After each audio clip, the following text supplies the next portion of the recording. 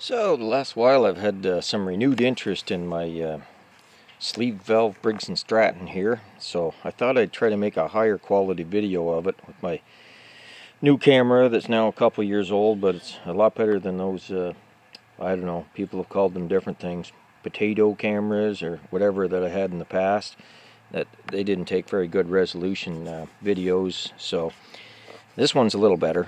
Um, so I'll just uh, point out the parts here. First thing I'm going to do, uh, review is just, uh, here's my little sleeve valve model. Shows you, uh, let's see, we'll get it at the, sleeves at the top there. That's what the little crank shows here. And it's got the ball joint mechanism, the whole thing. And so the sleeves at the top, it, it fires, comes down, starts to open the exhaust port. Then intake port comes next and it just follows that.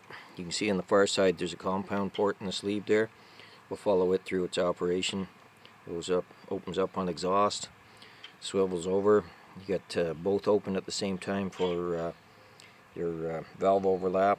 And then it shifts over to the intake port. And so on the outside, show that same one. Got an exhaust port, an intake port.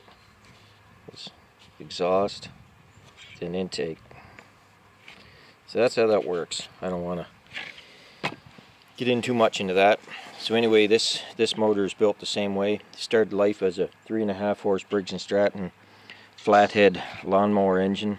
There's where the valves used to be. See, I got the holes plugged just so that uh, my oil in the crankcase doesn't leak out.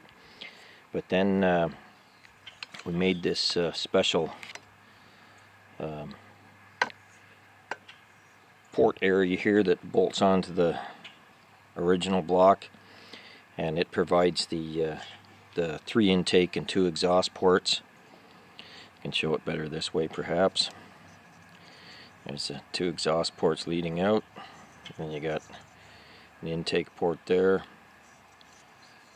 This is a compound intake port with the two ports that close together. And then intake port there there there again at the top. So that's just kind of it there. And uh, not not ideal port positioning but I had to work around the uh, head bolts. So you can only do what you can do sometimes on a um, you, I don't know what do you want to call it aftermarket conversion like this. So but it is what it is, and it, it worked. Made about three and three quarter, sorry, four and three quarter horse at uh, 3200 RPM. The intake manifold surely wasn't um, helping matters out, and the stock Briggs lawnmower carb. I should have gone with a uh, Tecumseh adjustable uh, float type carb, but I stuck with the gas tank carb combination from a Briggs. That way I could actually cut the grass with it because the governor hooked up and everything and some of my videos I do show where I'm cutting the grass and you know number of years in the past there. Anyway I'll get on with the explanation here. So here's the sleeve. I got a piece of masking tape stuck to it there. It's just a reference line from the center of the uh, sleeve drive pin. So there's your compound port. So you get an exhaust and intake out of that. Then uh, this guy would be an intake port. No I'm lying. Sorry. That's an exhaust port because these two over here which are identical are intake ports. So the oddball has to be exhaust. Makes sense. The the sleeve drive is downwards. It goes in this way. So yeah this port here has to be exhaust and this port's exhaust and then intakes at the bottom and then intake intake. So you can see there's uh, four ports in the sleeve and you got the, the, compound port there that does the job of uh, intake and exhaust so that's it. You got various cutouts at the bottom there to clear uh, crankshaft uh, and connecting rod. Counter got to clear the crank counterweights and the connecting rod. So the uh, drive pin there is integral with the sleeve. That uh, you can see here some of our machining problems. Can get it quite circular. And if you look close, I know, hopefully in the light, you can see here an ellipse, a wear ellipse. You get a piece of dirt in there and it uh, shows the, the shape that the sleeve actually moves. It's an ellipse for sure. Some of them inside I had parabolas. That's the shape that the piston goes up and down inside the sleeve because they both move. You get funky parabola shaped scratches in there. And to go along with the, the port area there, you need a junk, what's called a junk head. So that's it there. It fits inside, fits inside the sleeve, just like the piston does. And it's got two rings on it. I just used standard compression rings from Briggs. You can see a pin there, if you look close, there's a little pin in the groove. That stops the ring from being able to turn around like it normally can in a piston. They're both pinned that way. This one's not lined up. The reason is you want to keep those rings stationary in the head so that they can't hook up on a sleeve port like this one. You don't want the, the gap in it jumping into there and getting caught and snapping. So they're just pinned to, uh, like a, a two-stroke motors do the same thing a lot of times yeah, spark plug. So it's it's circular and it's show you the shape of it there. So uh, forms the combustion chamber. And just a regular flat top piston with the connecting rod. It's all stock. In this case it's a 8 cubic inch uh, Briggs & Stratton. So the trick I used, the, the sleeve here, the bore on this is, we'll call it uh, 2 and 9 16 inch.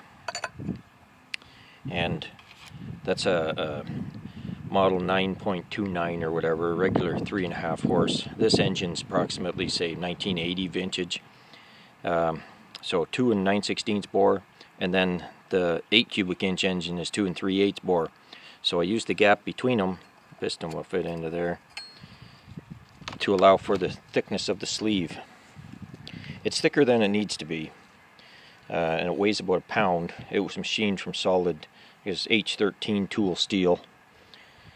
That took a while to do. Started out like this. We machined the drive pin on it first, then chopped it off and bored it, machined the outside. A lot of work. Went from like, I don't know, 13 pounds to one pound, something like that. But anyway, uh, that's how the sleeve worked on it there.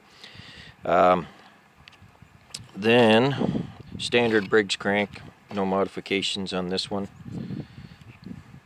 Now, I have to point out, this is the second version of this sleeve valve engine.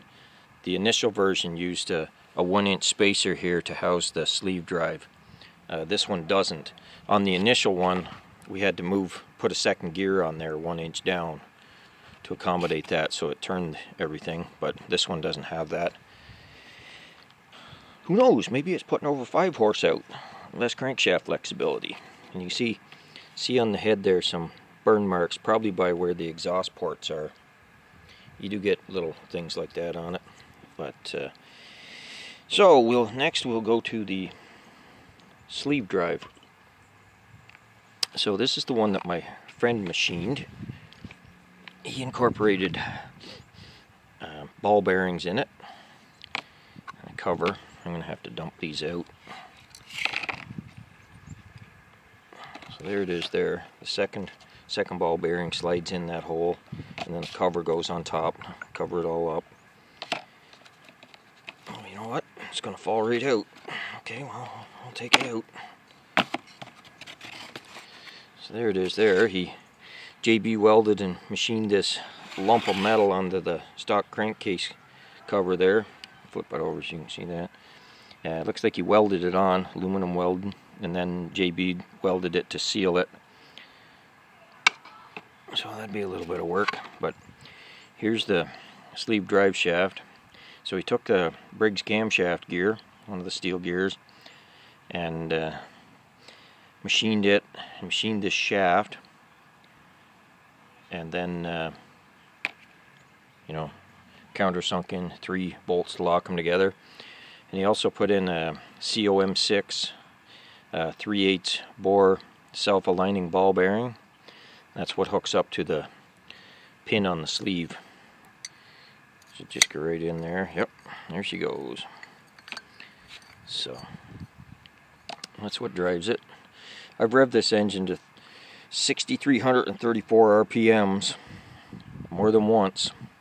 I never took it that high uh, when uh, we were had it on the dynamometer just because it was the different setup and I didn't well I don't know I can't remember we revved at least 5,000 at that point but so it'll rev and it's held together okay but uh, I suspect I could get more than four and three quarter horse out of it now less crankshaft flex etc put a decent carburetor on it my friend wanted to aim for 8 horsepower but we just never got a chance to put down dyno again